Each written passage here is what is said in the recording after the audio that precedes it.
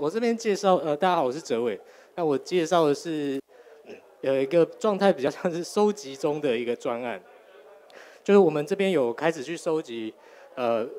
可能是以国内为主的公民科学的一些计划。那这个计划就是说，可能大家有听过像 iNaturalist，它是生物调查 APP，然后有很多的 NGO 团体甚至大学，它会用这样的工具。那例如说，呃，海海洋委员会那边，它有很多让钓客可以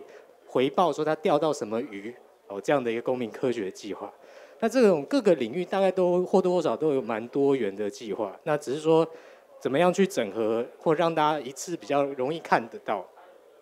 所以，我们就先用一个 Airtable 的工具去把这个清册的基本资讯把它汇整。哦，例如说它有的名称，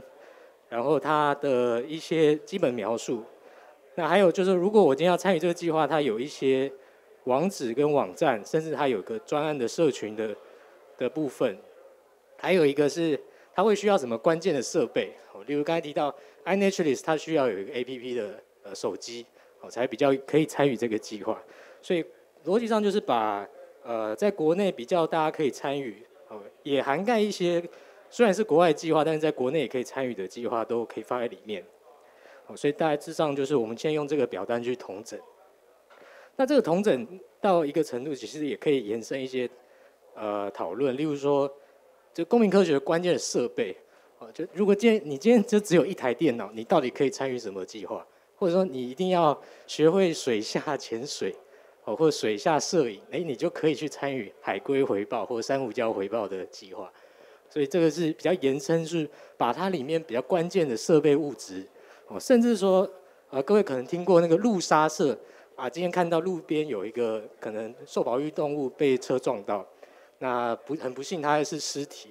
但尸体对于这件事情也很很意义，所以它还要连接一些物流上跟行政通报的一些呃环节。那就会从这个角度去找出一些计划的一些特性啊，当然就是协助一般的民众去思考，说我今天如果擅长某些拍照摄影的技术，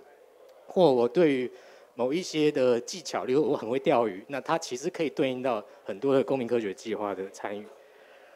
那最后我们也会去把一些呃公民科学对呃这样的一个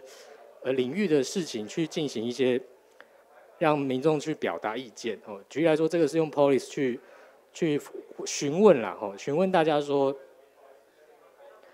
呃，例如说，哎，这个这个问句说，我认为公民科学跟传统科学没有太大的差异，只是一个分项化的执行。那这样的表达，大家有一部分觉得说，哎，对他同意，或有一部分觉得说，哎，不是这样子。所以这边有蛮多的问题，大家如果有空也可以去帮忙填填看，说，呃，对于公民科学这个比较广义的概念。哎，你觉得是怎么样？然后别人也可以帮你回应这个问题。所以以上这个专案大致上就是以呃会诊这个公民科学基本的资料，然后从中看衍生一些，例如说它的甚至是数据整理的方案。哦，像它有些的专案是自己加 open source 的方案，那或者说有些是用这种呃国际上的一个大的平台，就是有点是呃帮忙标注或者发起一些，就有点类似切豆腐工作这种平台。那这都会是在看这些专案里面所使用的呃一个方法。那刚才提到设备器材，它也是一个标签化的，然后我们就尽量打把它变成标签去做使用。还有有一些行政区的特性，就是呃不同的计划，有些是蛮专门行政区的，哦，就特定的行政区才会有这个计划。那剩下的现在还在处理，就是把一些可能是包含科技部的研究计划或文献。哦，就是可能某一个协呃某一个材料或研究，它曾经针对某一个公民科学计划做一个比较比较深入的探讨。那这些文献跟呃材料都可以把它整合在同一个 Airtable 的关联架构。那这时候去查询的时候就会比较快，说除了看到计划，也可以看得到它有没有相关的研究论文。那以上这个专案，我们是有一个社团哦，所以可以在今天的呃 HackMD 的共笔上面去找到这个 FB 社团。那相关的资料跟呃查找的网页，还有该的 Police 的调查，都可以欢迎大家来使用。那以上是我们的简报，谢谢。